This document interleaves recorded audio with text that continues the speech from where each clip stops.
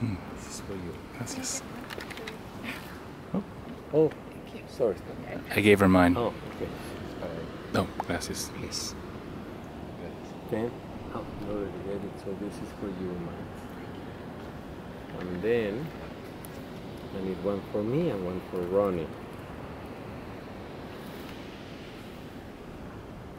So, the purpose of making this meditation with your eyes open, the recommendation, is because you can take with you all this amazing view from this place, full of love and full of joy.